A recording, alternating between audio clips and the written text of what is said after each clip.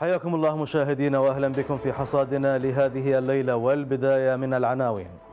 سنجار محطة نزاع واقتتال سياسي وصورة قاتمة للأوضاع تهدد بالانفجار. تهريب النفط معركة الأمن والاقتصاد وعزم حكومي لوضع حد نهائي لهذا الملف. إذا مشاهدينا رغم مرور سنوات على طرد مسلحي تنظيم داعش الإرهابي من قضاء سنجار عقدة النار المحلية في هذه المنطقة والإقليمية كذلك وما تزال المدينة تعاني أزمة التنافس السياسية والأمنية كذلك. فبين نارين يعيش سكانها قساوة التحركات ومساعي إعادة التموضع والتمدد من خلال اتفاق غابت عنه أطراف القضية الأساس وخط أو خط حبره قلم سياسات الحكومة السابقة التي قفزت على الوقائع المثبتة. فالخلاف الذي يتنامى بلا فائدة عرقل جهود إعادة النازحين وحتى البدء بحملات الإعمار. فاجتياح داعش لم يكن المأساة الأخيرة لسكان هذه الرقعة الجغرافية بل سنوات النزوح وموانع العودة حتى الآن أثقلت الجراح. أما في ملفنا الثاني لحصاد الليلة مشاهدينا ومع إصدار القضاء العراقي أحكامه الرادعة ضد أكبر شبكة تهريب للنفط ومشتقاته. الشكل الآخر للفساد ومعركة الأمن والاقتصاد التي عزمت الحكومة فيها على وضع حلول نهائية تضع حد لهذه الجرائم المهملة منذ سنوات وتغلق النهايات السائبة.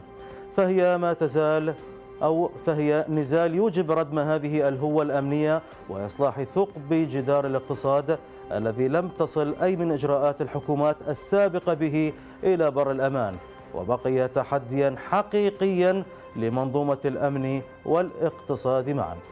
إذا مشاهدينا هذه ملفات حصادنا لهذه الليلة ونرجو أن تبقوا معنا.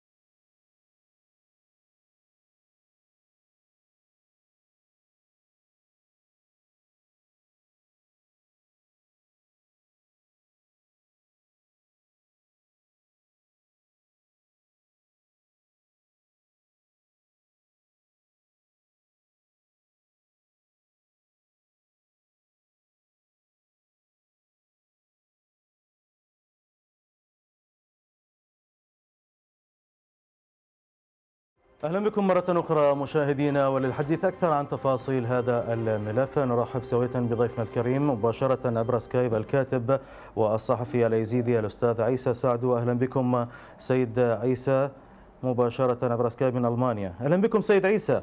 وودنا نسألك يعني سنجار آه ليش بقت منطقة ملتهبة رغم مرور سبع سنوات تقريبا على تحريرها من عصابات داعش الإرهابية.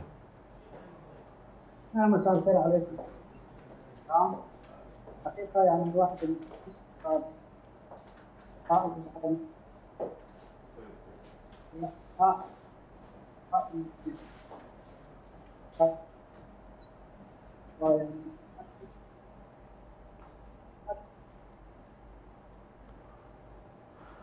يبدو أن الصوت والاتصال عبر الإنترنت غير مؤمن. نعتذر منك سيد عيسى لكن إذا كان الاتصال يمكن من عندك ضعيف أو من عندنا. سنجار تعاني من مشاكل كثيرة. حتى الآن هي منطقة ملتهبة. هناك اتفاقيات سابقة جرت لم يتم تطبيقها. إذا تسمعني سيد عيسى. سبع سنوات تقريبا مرت على تحريرها من داعش. حتى الآن يعني العصابات الإرهابية يمكن تنشط في مناطق بعيدة لكن سنجار من الجانب الأمني أعتقد مؤمنة. أكو تأثيرات حتى الآن أمنية تمنع عودة النازحين مثلا؟ نعم هل هل صوتي واضح؟ أتمنى انه نعم تفضل. تفضل. نعم شكرا. حقيقة يعني الوضع الأمني بفضل القوات الحشد الشعبي والقوات المنتدى والقوات العراقية مختلفه يعني في سنجار ولكن الشيء الذي يمنع من النازحين هو الصراع الموجود يعني من قبل الحزب الديمقراطي الكردستاني يحاول السيطره على المنطقة وبالتالي يعطل أي حلول ممكن أن يقترحها الأهالي للتنسيق مع بغداد. يعني الحلول التي يطرحها الايزيديون لمساله الإدارة المحلية وكذلك بقية الأمور الخدمية. هذه الحلول هذه الحلول مرفوضه من قبل الحزب الديمقراطي الكردستاني ما لم يأتي هو ويسيطر بنفسه على المنطقة من الناحية الأمنية وكذلك من الناحية الإدارية.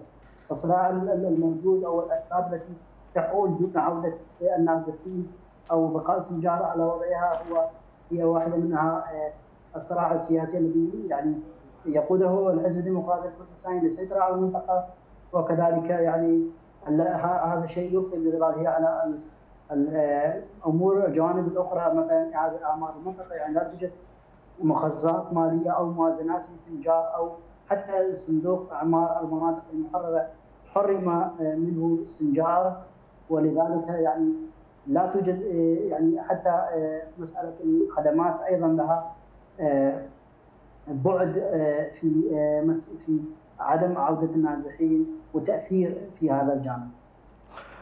أيضا ينضم لنا مباشرة آه، ضيفا كريما عضو الحزب الديمقراطي الكردستاني السيد مهدي عبد الكريم أهلا بكم سيد مهدي ضيفا كريما. مرحبا استاذنا الفاضل. سنجار يعني بعد مرور كل هذه الفترة على تحريرها من العصابات الإرهابية، ليش حتى الآن تعتبر منطقة ملتهبة وملتهبة من الجانب السياسي آه، والجيوسياسي أكثر من الجانب الأمني سيد مهدي؟ بداية بسم الله الرحمن الرحيم تحياتي لحضرتك ولقناتك ومشاهديك الكرام وضيفك الكريم. حضرتك اعرف أنه آه، أساس الاتفاقات اللي تمت بعد قبل تشكيل ائتلاف الدولة آه، ائتلاف إدارة الدولة نعم. وتم طرح كل ثوابت لكل مكون ومن ضمن هذه الثوابت اللي تم طرحها وتم الموافقة عليها وضمنت ضمن منهاج الحكومة للسيد محمد الشيع السوداني هي آه، تفعيل اتفاقية سنجار التي تقول هي أن تكون سنجار يعني آه، لأهلها أولا ثانيا عودة النازحين ثالثا إعادة الخدمات وعمرها وتخصيص مبالغ آه، آه، من الموازنة لها إضافة إلى تعيين 2500 من أهالي سنجار الشرطة المحلية التي تكون بيدهم هي من الناحية الأمنية مع الجيش العراقي لا. نعم. هذا هاي الاتفاقات وتم مع كل الأسف لحد هذه اللحظة الكل يعرف أيضا أنه سنجار بيد من والمقدرات بيد من والجهات اللي مسيطرة عليها الآن في هذه اللحظة اللحظات أو في لا لا ما مو الكل يعرف سيد مهدي أرجو أن توضح لنا والمشاهدين موجودين الديمقراطي إذا تسمح لي موجود نعم. ديمقراطي حزب العمال والحشد الشعبي موجودين لكن من اللي يسيطر؟ الديمقراطي ما له وجود الآن آه ولكن الديمقراطي الحزب العمال الكردستاني البككة آه، إلى اليد الطولة في هذا المكان وليس من كلام من عندي آه، ضمن الكل يعرف أخي لا تقاطعني حبيبي لا تقاطعني. سيد عيسى اسمح له. أستاذ عيسى لا تقاطعني رجاء. أرجع لك تأخذ وقتك واكتب وسجل. تفضل سيد مهدي تفضل. عرفت؟ أرجع لك سيد عيسى. فلهذا السبب تعرف إنه اليد الطولى الآن في سنجار هي للحزب العمال الكردستاني وبعض ال ال ال ال نقول الميليشيات اللي متواجدة ما عدا الحج الشعبي لا أنا نقصد الحج الشعبي لأنه الحج الشعبي له عمله وإلى مكانته. لهذا السبب اللي أخر حتى عودة النازحين الآن آه، اسأل أي نازح النازحين أين متواجدون صار لهم كم سنة؟ وين موجودين؟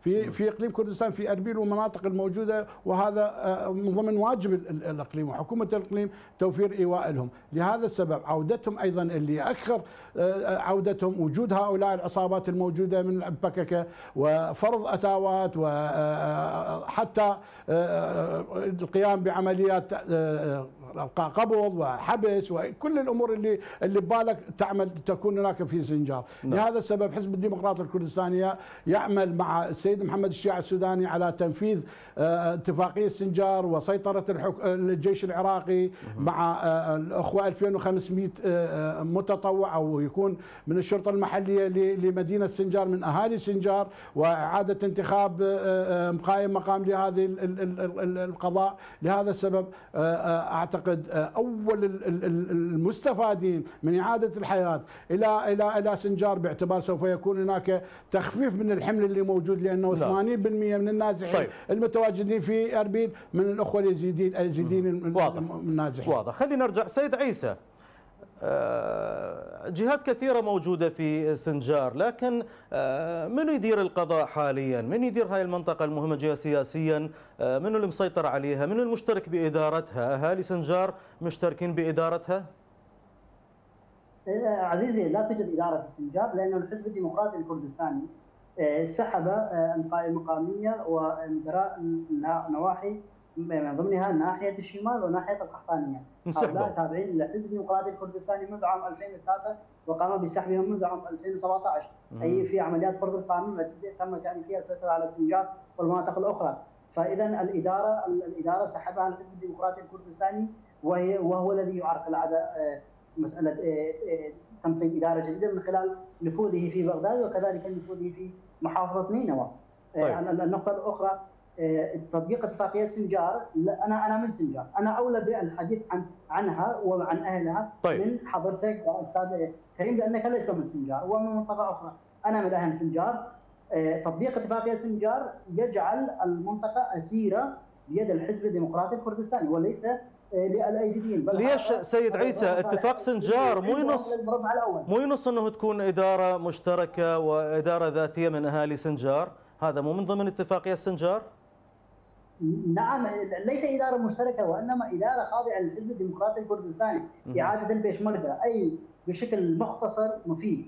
إعادة الوضع إلى ما قبل عام 2014 وسيطرة البيشمركه على الايزيدين وعلى المنطقة بشكل تام ومن ثم الهروب مع أبسط خطر كما حصل في عام 2007 حينما سمحوا للشاحنات تنظيم القاعده بالدخول إلى مناطق الايزيدين إلى ناحية القحطانية وقتل مئات الايزيديين وتدمير المنطقة بالكامل. كما فعلوا في عام 2014 وسحبوا أمام عصابات داعش الإرهابية وتركوا الايزيديين فليس سهلا لداعش هذا هو تاريخ حزب الديمقراطي الحزب الديمقراطي الكردستاني في المنطقة. ولذلك نحن نتخوف من هذا الشيء. نحن لا نتخوف فقط بل نرفض عودتهم لأنه تاريخهم معروف وما فعلوه مرة ومرتين ممكن أن يكرروه ثلاث وأربع وخمسة. ولذلك آه، يعني مسألة إعادة الحزب الديمقراطي الكردستاني سواء كانت تحت مظله اتفاقية سنجار اعاده النازحين هذه كلها هذه الخدعة كلها معروفة. ولذلك اليزيديون لا يقبلون بها لأنه إعادتهم إلى هذه المنطقة والسيطره عليهم ومن ثم تركهم لعصابات إرهابية أو للمساومة عليهم طيب. وتضيعهم إلى تنظيمات إرهابية كما فعلوا مع القاعدة وداعش. هذا شيء غير مسموح به. عدم طيب.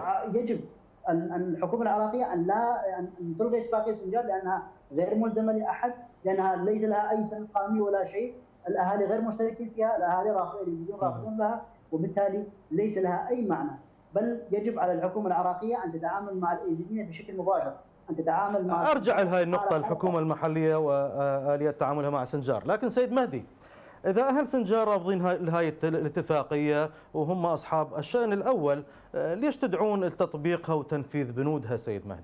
أستاذ الفاضل أولا اللي اللي يكون يمثل الأزيدين يكون له حضور في في في في سنجار وأهالي سنجار والموجودين 80% من سكن السنجار موجودين في أربيل مخيمات النازحين نعم. هذا ما يمثل رأي الموجودين ولكن يمثل قلت لك يا حزب العمال الكردستاني اللي مسيطر على إدارة آه، آه، آه، سنجار وقضاء نعم. سنجار بكل مفاصلها بكل مفاصلها الآن والكل يعرف هذا بعلمه. ولهذا السبب تمت الاتفاقيه، الاتفاقية من أرقى الاتفاقيات الموجودة، أما سيطرة عودة البيشمركه هذا كلام يعني حدث العاقل بما يعقل وإن كحد لا عقل له. ده يقول لك أكو اتفاق عودة الجيش العراقي بسيطرة الجيش العراقي مع مع, مع هذا ليش ما يسكت أخوي؟ استاذي مسكت رجاء تسمح لنا سيد عيسى خلي سيد مهدي يكمل. أنا متجاوز أعطيك كل الوقت سيد عيسى إذا تسمح لنا. هذا مو وقتك. بابا ابني مو وقتك. العفو سيد مهدي العفو سيد مهدي وليدي مو وقتك ابني مو وقتك. إذا تسمح لنا سيد عيسى. سكت رجاء العفو سيد مهدي أيضا اسمح لنا. سيد عيسى إذا تسمح لنا راح أعطيك كل الوقت سيد عيسى. تفضل سيد مهدي. لهذا السبب. لا لا, لا اسمح له ان يتجاوز رجاء. احترم نفسك يا أخي ما تتجاوز اسمحوا لي سادة الحوار هذا أنت مين جاي؟ اسمحوا لنا يعني راح نعطيك كل واحد دوره والوقت مفتوح لكم. سيد مهدي نعم. اغلب أغلب ال ال يعني الموجودين أهل سنجار اليزيديين موجودين بمخيمات النزوح. نعم. آه طيب ماكو تأثيرات من الإقليم من الديمقراطي عليهم وعلى إرادتهم باعتبارهم موجودين؟ آه في ضيافتكم في الإقليم. واجبنا هذا مو ضيافة. هم أهل دار اولا ثانيا أستاذ الفاضل أكثر المدافعين على الأخوة الازيديات اللي تم تحريرهن هو من قيادة السيد نجربان البرزاني والسيد مسرور البارزاني حرصهم السيد الزعيم مسعود البارزاني دائما معطي أهمية لهذه الشريحة المهمة في البلد. لهذا السبب اكو بعض البعض اللي أنا أقول لك نعم. اللي محسوب على سنجار اللي محسوب على الأزيدين اللي على مع حزب العمال الكردستاني اللي مصنفه ارهابيا يعمل على عدم استقرار سنجار يعمل على عدم تنفيذ الاتفاقية ولكن هذه الاتفاقية سوف تنفذ رغم ما كل اللي اللي اللي خلينا نقولها بالعامية اللي يرضى واللي ما يرضى باعتبار اتفاق حكومي بين آه، آه، اقليم كردستان والمركز أما عودة طيب. البيشمركة ما ممكن باعتبار انه هناك من أهالي سنجار ضمن الاتفاقيه 2500 آه، شخص ازيدي طيب. من داخل سنجار ليس من خارج أتوا عليها طيب. لهذا السبب أنا أطمئن لك إنه اتفاقية سنجار سوف تنفذ الأصوات البقية اللي اللي يهمنا عودة عودة النازحين الموجودين في ضيافتكم في إقليم كردستان أعود لك سيد عيسى ليش موجودين بكردستان؟ آه، سنجار تحررت آه، وضع أمني مستقر آه، نسبيا. ليش باقيين بإقليم كردستان؟ ليش ما ترجعون إلى سنجار؟ نعم سيدي الكريم كما ذكرت لك في البداية الحزب الديمقراطي الكردستاني هو الذي يسيطر على المخيمات طبعا الازيديين غير موجودين في أربيل وإنما صحيح معلومة ضيفك انما في سنجار في في في دهوك في في دهوك المخيمات. في دهوك نعم. 15 مخيم في دهوك نعم. الحزب الديمقراطي الكردستاني يمنع عودة اليزيديين من خلال أدواته من خلال ما يمارسه من خلال سياسته في المنطقة. مثلا آه، سيطرته ونفوذه في محافظة نينوى. الذي آه، يعني يحاول من خلاله منع آه، تشكيل أي إدارة محلية في سنجار ما لم تكن يعني ضمن شروطه. كذلك في بغداد. يعني الحزب الديمقراطي الكردستاني يستخدم كلها يستغل كل هذه الأوراق للضغط على الأيزيديين، الأيزيديين نعم نحن أقلية ومكون صغير وليس لنا نفوذ كبير كما آه، لدى هذا الحزب. ولكن هذا شيء بعيد عن الأخلاق وهذا شيء يعني مستنكر وهو جريمة دولية. لأنه يتم حجز الايزيديين في المخيمات اليوم. الايزيديين محجوزين في المخيمات الحزب الحزب الديمقراطي الكردستاني يستفاد من أصواتهم من خلال يعني الدكتاتوريه الموجودة في المخيمات لا تستطيع أن تنتخب أي إنسان ما لم يكن ضمن قوائم الحزب الديمقراطي الكردستاني. أي نعم. إنه لا توجد حرية في المخيمات هذا شيء معروف تماما. الحزب الديمقراطي الكردستاني يستفاد من الايزيديين في الانتخابات. يستفاد منهم. يعني طبعا هذه ملاحظة حتى الانتخابات القادمة والمجالس المحافظات. إيه، أيضا إيه، هنالك مسألة أخرى. أمام المنظمات الدولية وأمام الناس يقولون نحن نستضيف الايزيديين طيب أنت كم كيف تستضيفهم؟ الايزيديين اليوم هم في حكم الاسرى في المخيمات؟ وفي مخيمات النزوح في مخيمات UN. UN هي التي تمولهم. أصلا الحزب أصلا الحزب الديمقراطي الكردستاني. وادارته في الإقليم متورطة بعمليات فساد كبيرة في مسألة المخيمات وحقوق الايزيديين التي سرقها ونهبها من خلال المساعدات الدولية من خلال حتى حتى تبرعاتنا نحن الايزيديين في ألمانيا وفي غيرها التي كانت تذهب إلى إلى اقليم كردستان بإشراف شخصيات طيب سيد عيسى سيد عيسى الموج... الأيزيديين الموجودين بالمخيمات في إقليم كردستان إذا تسمح لي ليش باقين تحت سطوة الحزب الديمقراطي؟ ليش ما يرجعون؟ الحزب الديمقراطي مانعهم من العودة؟ خارج اداره خارج ادارتهم، الناس هل تعلم هل تعلم يا سيدي الكريم اذا اذا أردت أن ترجع إلى بيتك في سنجار تحتاج إلى موافقات امنيه وإلى غيرها تطول شهرين شهرين. لمواطن لفرد واحد تطول أكثر من شهرين. فقط الموافقات. يعني اذا اذا إذا الإنسان يعني يريد أن أن يرجع إلى داره أيضا يجب أن يبقى في المخيمات يعني اشهر إضافية حتى تكمل له الإجراءات ويمنع اذا اذا, إذا من العودة إلى الإقليم مرة أخرى ومسائل كثيرة جدا. يعني هذه هذه تمنع. طبعا مم. مساله الأعمار إذا توجد يعني خدمات في سنجار الأعمار يعني آه، آه، لا يوجد أعمار لا شيء طبعا هو يتهمني بالولاء لحزب للفككة هل يعرف أنا أنا فكريا أختلف مع كل الأحزاب الكردية أنا مؤمن بأن الأيزيدية دين وقوميه والحزب الديمقراطي الكردستاني وال طيب. الاتحاد الوطني الكردستاني وحتى حزب العمال كلهم يجمعون على أن الأيزيدية كرد وأنا أقول إن الايزيديين ليسوا كردا. فهذه النقطة في هذه النقطة يعني وحدها أنا مخت... أنا اختلف معكم جميعا. وأنا ادافع عن حقوق الايزيدي كمكون ديني وقومي مستقل دون أي تدخل من الأحزاب الكردية ولا الحزب طيب. الديمقراطي الكردستاني ولا الفريق ولا أي حزب. الحزب الديمقراطي الكردستاني ليس وصيا على الايزيدي ليس هو الذي يتحدث باسم الايزيدي أنا ايزيدي نحن ايزيديون نحن الذين نتحدث باسم أهلنا. وهو يعني حينما يقول هذا الكلام كان عليه ان ان يسأل نفسه لماذا لم تطبق اتفاقية سنجار؟ هل أنا منعته في من, من ألمانيا؟ لا، الشعب اليزيدي باكمله في سنجار رافض الاتفاقية ولذلك لم تطبق. والشعب اليزيدي ما موجود في سنجار سيد عيسى. اغلبه 80% موجود في في إقليم كردستان. خليني أرجع إلى سيد مهدي. اسمح لي اسمح لي خل أرجع السيد مهدي. خلي نعطيه وقت. سيد مهدي ليش مشلبين بالنازحين الايزيديين لولا أن عددهم كبير يمكن يضمن لكم أصوات بالانتخابات. وإن ضمنوا هذه الأصوات إذا تسمح لي آه، كان لكم حضور وحصلتوا عدد من المقاعد بأصواتهم لكن هذا ما يمنع يعني آه، أن يعادون إلى مناطقهم. حضوركم وجمهوركم في سنجار وإن كانوا في إقليم كردستان كنازحين ما يعطيكم حق آه، بسطوة سياسية وأمنية على هذه المنطقة وسيطرة. عزيزي الغالي أستاذنا الفاضل. تفضل. أرجع أقول آه، واحد زائد واحد يساوي اثنين ما يساوي ثلاثة. نعم. مسألة النازحين أولا حتى أفند كل اللي قاله المتكلم. أولا يعني ما ممكن أنت تستغل آه، أو أو يصوت لك نازح هو مو مقوميتك أو مو أكو أمم متحدة أكو مفوضية مسجلين كل الأمور اللي موجودة اللي عندك ضمن مناطقهم اللي موجودة هذا لا. نعم. واحد اثنين ما يمنع عن عودتهم الدليل عندي إنه معالي وزيرة الهجره سيد إيمان المحترمة قبل يومين والقبله والقبله آه، آه، صدر يعني أعلنت عودة 175 200 بين فترة وفترة يعودون عوائل سنجار بلا خدمات. سنجار بيوت مهدمة. سنجار قانون ما بيه سنجار على أي أساس ينزع يرجع النازح. لهذا السبب لهذا السبب حتى وزارة الهجره تقوم بمساعيها في من أجل إنه اولا تهيئ الأمور البنى التحتية لحد هذه اللحظة. حتى السيده معالي ست ايمان تعمل على هذا العمل ولكن هناك معرقلات موجودة من ضمن ذكرتك إياها جنابك. هذا مو حكي اني أقول حزب أخي لا تقاطع شلون مصيبة ويا هذا الولد؟ ما تقدر تسكت يعني أنت؟ احترم نفسك واسكت. لهذا السبب. أنا ما ما أحترمك. يا حبيبي احترم نفسك واسكت أنا ما قاطعتك.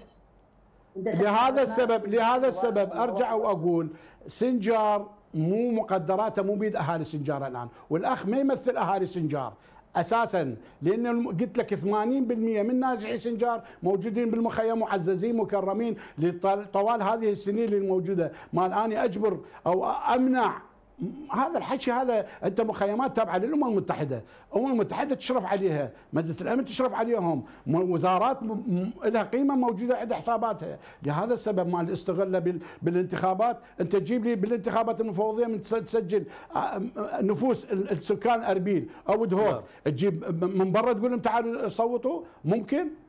ما ممكن، اهالي سنجار موجودين سكنهم ومناطق سكنهم موجودة في سنجار. لهذا السبب من هناك ينتخبون وينتخبون مرشحيهم. أستاذ إذا ما مسكته آه، آه، أنسحب. سكته خليه يحترم نفسه الرجل سيد سعد اسمح لي سيد يعني أنا ما قاطعتك أقول لك عيب ابني عيب. احترم الحوار. لهذا السبب أرجع وأقول نعم. كل اللي ينذكر اولا آه، سنجار بها مشاكل مشاكل اقتصادية مشاكل سياسية بنى تحتية كل هاي الأمور يحتاج لهذا السبب. هاي الاتفاقية أيضا مذكور بها ضمن الاتفاقية اللي موجودة. من إعادة البنى التحتية إعادة اللحمة وهي شلون ترجع مشاكل عشائرية وإعادة الإعمار إذا ما يكون هناك حل سياسي آه, آه، مشترك أو توافقي؟ لهذا السبب أنا أقول لك عليه. لا. إعادة أو تفعيل الاتفاقية أنت من تفعل الاتفاقية وأهالي سنجار هم يحموها ويرجعون تعادة وتخصيص مرابضيها أهالي سنجار. هذا مواطن من ألمانيا أحد اللاجئين. منو؟ وأيضا مواطن ايزيدي السيد أخي سعدو أخي احكي لي أهل سنجار اللي موجودين هنا في أروح لك الله يخليك. اللي موجودين هنا أنا واحكي لي واقع حالي الموجود في سنجار. ما يحكي لي بالمانيا وما يعرف شكو بسنجار. اللي موجودين مقدراته ولاجئين.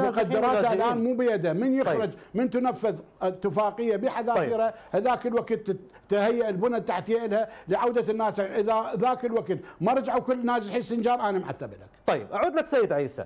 عندك آه، تصريح سابق أن الحزب الديمقراطي يستغل الأيزيديين كورقة ضغط مع مع بغداد ومع الجهات الدولية المنظمات الإنسانية وغيرها. إيش تقصد باستغلال يعني قضية سنجار كورقة ضغط بغداد أو المجتمع الدولي؟ نعم ال- ال- ال- الحزب الديمقراطي الكردستاني يقول للمنظمات الدولية ويقول للأمم المتحدة أنا احمي الأقليات وأنا أمثل الأقليات وإلى آخره ولكن في الحقيقة يعني هذا الشيء يعني خلاف للواقع حتى المنظمات تعرف ذلك. يعني الأمم المتحدة تعرف أن ما يحصل في المخيمات من انتهاكات تعرف آه، ما حصلت من من من من فساد ومن سرقات نعم. آه، باسم الايزيديين ول- ول- ول- ولحقوق الأيزيديين. كذلك في بغداد يعني هم هم يعرقلون يعني مسألة الأيزيديين آه، يعني يطالبون دائما بغداد بالسيطرة على مناطق على المناطق ال- الأيزيدية. يعني في في منطقة الشيخات يعني هم يسيطرون عليها منذ عام 2003 كانوا يسيطرون على سنجار وهربوا وتركوها لداعش. ويريدون الآن العودة لها بكل الطرق. طبعا هو هو يتحدث بكلام يعني في وادي آخر الحزب الديمقراطي الكردستاني كل هدفه من صفقة سنجار ومن اتفاقية سنجار آه، هو العودة آه، إلى سنجار وحكمها سواء كان من خلال البيشمركه سواء كان من خلال الإدارة المحلية وإلا ما دخل الحزب الديمقراطي الكردستاني بسنجار الحزب الديمقراطي هسه الاداره المحليه ما موجودة سيد عيسى. طيب ما تشوف سيد عيسى أنه الحكومة المركزية مدعوة إلى تفكيك نقاط الخلاف هذه تلافيا لاحتمال تفجر الأوضاع في هذا القضاء؟ أنا كما طالبت نعم سيدي الكريم. أنا نعم. كما طالبت وسأبقى طالب. مم. على الحكومة المركزية أن تتعامل مع الايزيديين كمكون مكون وليس أشخاص. نحن مكون نحن لا نمثل حتى لو كان عددنا نصف مليون. لا يمثلنا الحزب الديمقراطي الكردي لا يمثلنا حزب نحن مكون كامل. مكون ديني وقومي. ولذلك يجب على الحكومة الاتحادية أن تتعامل مع الايزيديين كمكون وليسوا كافراد وليسوا كحزب لا يمثلنا حزب. نحن مكون كامل. ولذلك التعامل مع الايزيديين ومع سنجار بشكل آه، يليق بهم وبدون فلتر سني أو كردي بدون المرور ببغداد بأربيل أو بالموصل. بل التعامل مع الايزيديين مباشرة. حقوق الايزيديين أن تعطى للايزيديين مباشرة أن لا تعطى للكرد وتقول ويقال لهم أعطوهم للإيزيديين أو تعطى للسنه وت- وتسلب لا أن تتعامل مع الإيزيديين متى ما تعاملت الحكومة الع- العراقية الاتحادية في بغداد مع الإيزيديين بشكل مستقل نعم. كمكون عراقي طيب. محترم من أطياف الشعب العراقي طيب. وحدها ممكن أن- اسمح لي سيد عيسى. نقطع ايادي الأحزاب التي تتدخل بين الايزيديين وتفرق صفوف الايزيديين وتكذب على الناس بانها طيب. تمثل الايزيديين اسمح لي اسمح لي اسمح لي خليني أرجع سيد مهدي. الحزب الديمقراطي كان له تلويح وتصريح قبل فترة قصيرة بتدويل قضية سنجار. طيب شلون يتم تدويل قضية محلية حول منطقة محلية؟ كيف يتم تدويلها؟ باعتبار أنه هناك اتفاق ينقذ سنجار وبكل شروط اللي تأمن مصالح الأزيدين الأخوة الأزيدين الموجودين في سنجار ليس خارج سنجار. واللي موجودين في المخيمات اللي موجودة بدهوك وأربيل والعراق بشكل عام نعم. آه، توفر لهم كل البنى التحتية والحياة ال- الكريمة. لهذا السبب عدم تطبيقها والمماطله بتطبيقها وسيطرة ال- ال- البككة لهذه الفترة الطويلة وعدم و- وأنا يعني هناك حقيقة بعد ال- ال- الأمور اللي اللي اللي موجودة نطلع عليها. هناك تعاون الآن من أجل آه، اولا اتفاق بين ال- ال- الحكومتين حكومة الإقليم والمركز من أجل المساعدة في إخراج هؤلاء من سنجار وإعادة الحياة الطبيعية لأهالي سنجار وإعادة النازحين وتخصيص المبالغ البنى التحتيه الموجوده كل هاي أخر وتأخير تنفيذ الاتفاقية جعل حكومة إقليم كردستان أن تطلب المساعدة من بقية حتى من مجلس الأمن. على الشكر تنفيذ- جزيل لكم. عضو الحزب الديمقراطي الكردستاني السيد مهدي عبد الكريم. كنت ضيفا كريما. والشكر الجزيل لكم. الكاتب والصحفي الأيزيدي السيد عيسى سعدو كان معنا مباشرة عبر سكايب من ألمانيا. شكرا لك سيد عيسى. إذا مشاهدينا ننتقل سوية إلى ملفنا الآخر من الحصاد وأبرز ما فيه. تهريب النفط معركة الأمن والاقتصاد وعزم حكومي لوضع حد نهائي لهذا الملف.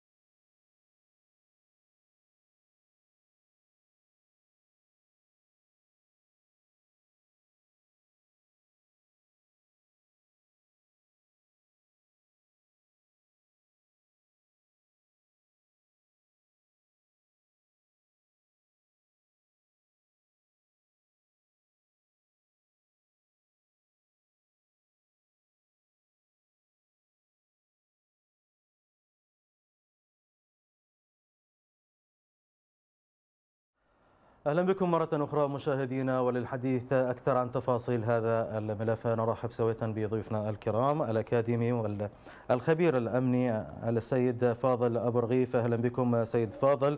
كذلك الترحيب الأكاديمي والخبير الاقتصادي الدكتور أحمد الشبيبي أهلا بكم دكتور أحمد.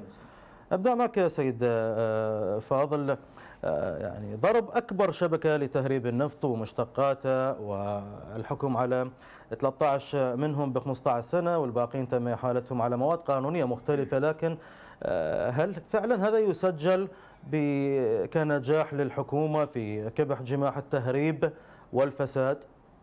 نعم أستاذ بشار تحية طيبة لك ولمشاهدي قناتك الكريمة ولضيفك عبر الأثير يعني أستاذ بشار الحكومة أول ما استهلت مشوارها يعني كانت هي حكومة خدمات بدءا أعلنت عن نفسها حكومة خدمات وبالفعل نجحت بها ملفين طبعا ملف الخدمات وملف مكافحة الفساد. نعم. وكما يقولون دفع المفسدة أولى من جلب المنفعة.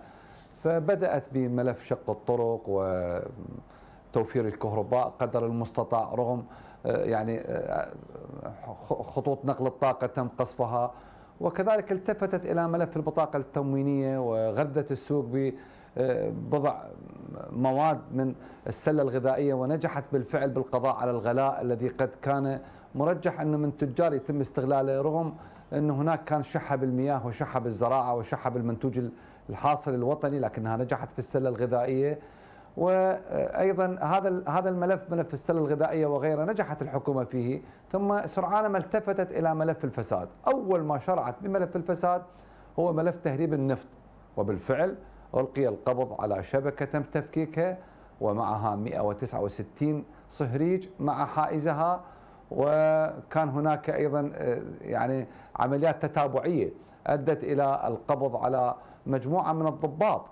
وهؤلاء ممن كانوا يتسنمون مراكز أمنية رفيعة المستوى هي المسؤولة نعم. عن نقل المنتوج وحركة الصهاريج والبدء بإعطاء آه، آه، تراخيص و اذونات مسبقة إلى هذه الصهاريج التي تبدأ رحلتها من الجنوب حتى الشمال وحتى إنها سجلت آه، يعني بنداءات لأكثر من 40 سيطرة استغرقتها مسافة أكثر من 850 كيلومتر تستقر فيما بعد ب 1000 كيلومتر المسافة طيب لكن سيد فاضل ما معقولة يعني شاحنات نقل نفطة آه، قاطرة مقطورة ومن الجنوب إلى الشمال تنقل وتمر بسهولة حتى تصل إلى مبتغاها وبعدين ما نعرف وين تروح ورا يمكن آخر منفذ الكفري وغيرها.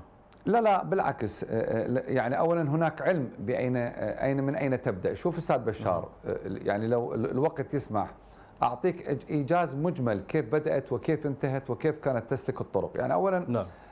كان هناك أنبوب كبير في يعني في البصرة وهذا الأنبوب تم يعني تم ثقبه بآلات متطورة وفتح جهاز فاكيوم سحب هوائي آه، عبر 100 متر تم آه، يعني آه، ردمها بالأتربة والسدود الترابية وفي وفي منطقة نائية بمعنى إنه أي مراقبة ستتم مراقبة هذا الأنبوب عن بعد سيتم اكتشاف من يراقب، هذا إذا علمنا إن هذه المرة المنطق القائل والقديم الذي يقول حاميها حراميها. الذين يقفون على حماية هذا الأنبوب ونقل المنتوج وبالصهاريج كانوا هم من يعني من حماية الطاقة من حماية نقل المنتوج. وبالفعل هم كانوا الذين يتسترون. وطبعا هذا بشار عقد المشهد. لذلك هم كانوا يعطوهم يعني إجازات وتراخيص يعني تكون بمعية سائقي الصهاريج وتبدأ الرحلة من البصرة وتنتهي بكفري وبعد ذلك في تركيا ويباع المنتوج بصورة رخيصة وبأبخس الأثمان بلحاظ السوق العالمية طيب. حتى يتدفق من هناك إلى السوق السوداء والمتاجرين فيه أهلا بك مرة أخرى دكتور أحمد. العراق يعتمد بشكل كبير ورئيس على آه، عوائد هذه المشتقات النفطية. لكن إيش قد تبلغ خسارة العراق من هذا التهريب؟ وخسارة العراق تعني أرباح للمهربين ومن يقف خلفهم. تحياتي لحضرتك وللضيف الكريم وللمشاهدين الكرام. إذا ما أخذنا بنظر الاعتبار أنه آه، بعض التقديرات تشير إلى أن النفط المهرب يقدر بحدود 300 ألف برميل شهريا أو أكثر من ذلك بقليل. وكذلك الحال بالنسبة للمشتقات آه، النفطية بحدود 10 ملايين إلى 14 مليون لتر يوميا. هذا ممكن أن يشكل خسارة سنوية يعني تتراوح ما بين نصف إلى 1 مليار دولار يعني بمعنى بقيمة تعادل إيرادات الموانئ العراقية أو أرباح الموانئ. وهذا بحد ذاته يعني المشكلة لا تتركز فقط في الخسارة التي يتكبدها الاقتصاد العراقي وإنما بالمشكلة نفسها بالتهريب والتأثير على واقع السوق والتأثير حتى على ثقة المستثمرين الأجانب مثلا بالقطاع النفطي آه، العراقي. أيضا لا ننسى أن عمليات التهريب هي في النهاية والأموال المتحصلة من هذا التهريب هي تذهب في مجاري غسيل الأموال أو في مجالات غسيل آه، الأموال. وبالتالي تربك من واقع السوق وترفع حتى من مستوى الأسعار بحكم أنه دائما المهربين يحاولون التستر على أموالهم. ومصادرها من خلال غسيلها وتحويلها إلى عقارات إلى آه، منافذ تجارية أخرى تربك من واقع السوق وترفع من مستوى الأسعار بشكل أكبر وبالتالي هي تشكل خسارة للاقتصاد من عدة اتجاهات. طيب. خسارة كبيرة أموال كبيرة يعني يمكن تتبع دكتور آه، تتبع هذا النفط المسروق والمهرب ونشوفه وين راح ونطالب بتعويض. بالتأكيد ذهب إلى دول مجاورة. نعم ولكن المشكلة كانت وأنه دائما ما يتم تهريب هذا النفط بمستندات رسمية بتستر من قبل بعض المتواطئين من شركات مثلا حماية النفط أو من قبل بعض رجال الأمن.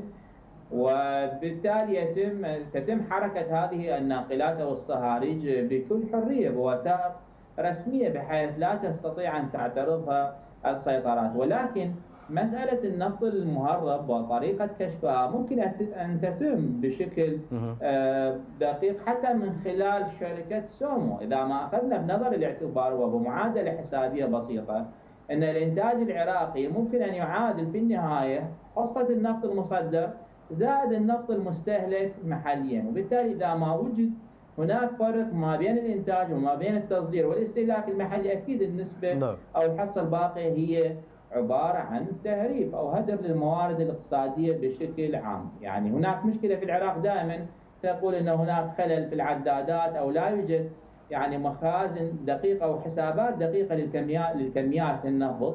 ولكن عن طريق شركة تسويق النفط ممكن أن يتم كشف ذلك من خلال هذه المقارنة البسيطة.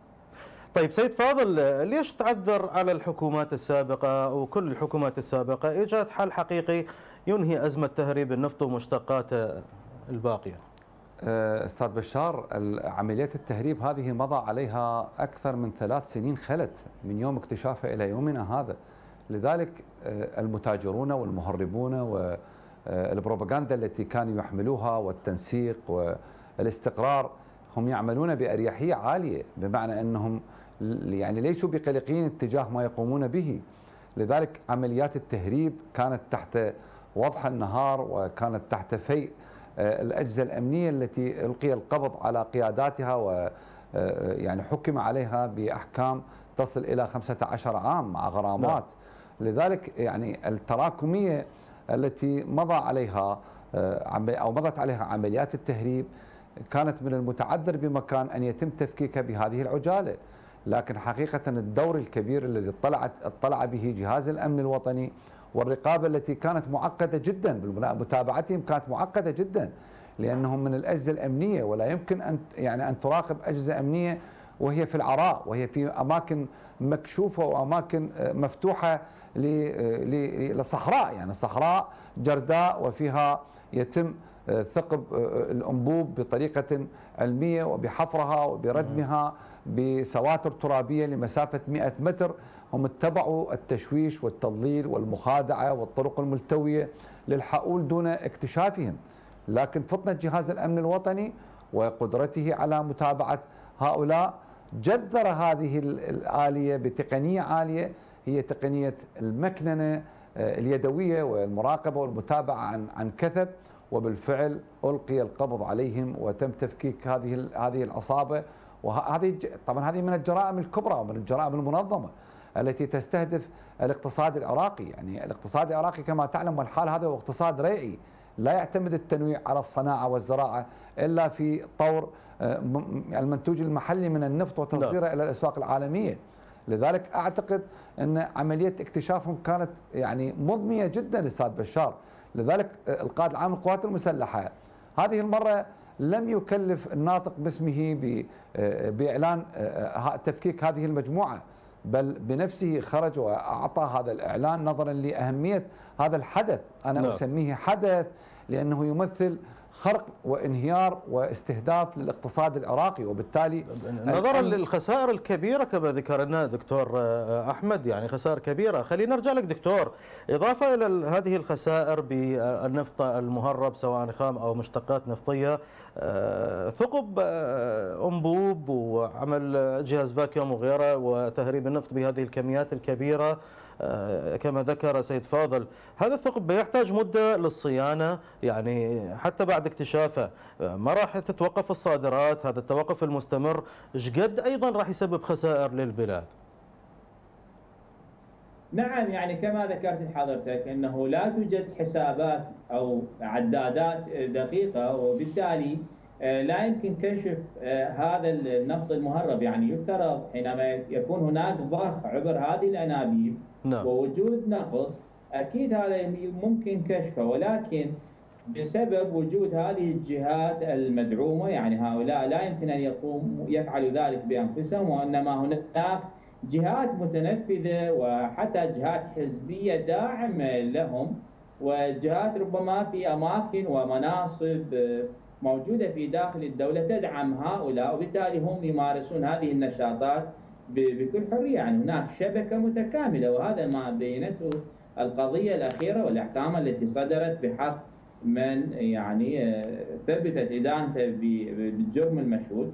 وبالتالي هذا التعقيد أكيد يعني يحول دون ذلك. وربما حتى يسكت بعض الأطراف.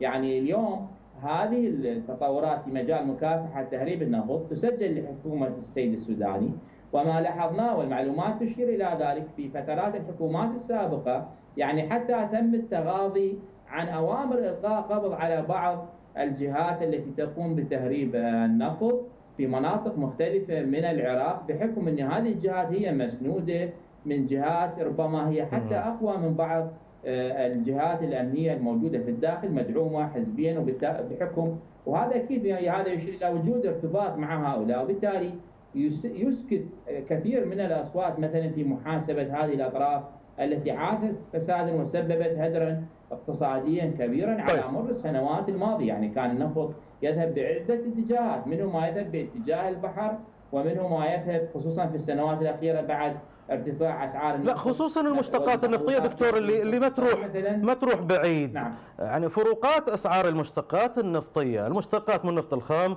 ما تمثل دافع يشجع المهربين على الاستمرار بهذه العملية. هذا الفارق بالسعر آه، إلى أي درجة يشجع على استمرار تهريبه؟ نعم الفرق بالأسعار. وهذه النقطة التي كنت أود ذكرها أنه في نهاية لا. نعم. العام 2021 أو 22 آه، ارتفع مستوى تهريب المشتقات النفطية ودائما ما يتم الكشف في وسائل الإعلام عن شبكات تهريب موجودة في بغداد وفي ديالة يتم التهريب إلى مناطق الإقليم ومنها إلى تركيا وإلى سوريا وإلى أماكن أخرى كل ذلك شجع من مستوى يعني تهريب النفط بحكم مستوى الأرباح الكبيرة والفرق ما بين السعرين في مناطق العراق الأخرى وخارج العراق أو حتى طيب. داخل الإقليم. مقابل عدم وجود محاسبة شديدة نعم. يعني اليوم صدور أحكام بحق مدانين هذا نعم. أكيد نعم. ممكن أن يعني يخفف من حدة المشكلة ممكن أن يوقف أو ربما يردع بعض الجهات حينما يكون هناك حساب شديد ولكن طيب. لا أعتقد أن هذا هذا الأمر سوف يعني يفضي إلى إنهاء طيب. مشكلة طيب. التهريب بالكامل.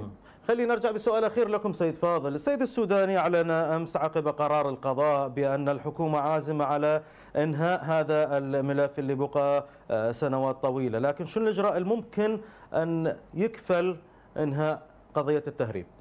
آه، طبعا إجراءات كثيرة من بينها إحكام القبض على حركة آه، تنقل الصهاريج. إشراك أكثر من جهة في هذا الأمر. متابعة دقيقة ونصب عدادات. عمليات الردع التي تم اتخاذها من قبل جهاز الأمن الوطني والقضاء العراقي الذي كان حقيقة صارما وشديدا اتجاه يعني ما يشكل تحديا للأمن القومي العراقي باعتبار أن التهريب هو يمثل تهديدا للاقتصاد العراقي. فضلا عن ذلك هناك عملية تعقيد آه، يعني وهناك عملية حوكمة آه، تم إدخالها الآن. على حركة الصهاريج وهذه تكون مسومة ومعلمة مسبقا باتجاه أي حركة لهذه الصهاريج للحؤول دون آه، إعادة السيناريو الذي كان يحدث منذ أربع سنوات خلت إلى يوم إلقاء القبض على هذه المجموعة وعلى مجاميع موازية لهذه المجموعة وعلى الصهاريج التي لا. نعم. تم الاستيلاء عليها وإحالتها إلى وزارة المالية وإلى الجمرك وبيعها بالمزاد تارة أخرى ليكون أداة ردع وأداة تحذير وأداة إخافة لمن تسول له نفسه أن أن أن يقترف مثل هكذا جريمة. الخبير الأمني السيد فاضل أبو رغيف كنت ضيفا كريما. شكرا لك. والأكاديمي والخبير الاقتصادي الدكتور أحمد الشبيبي كنت ضيفا كريما عبر سكايب. شكرا لكم دكتور والشكر موصول لكم مشاهدينا الكرام إلى هنا. وصلنا وإياكم وضيوفنا الكرام إلى ختام حصادنا لهذه الليلة وإلى اللقاء في حصاد آخر.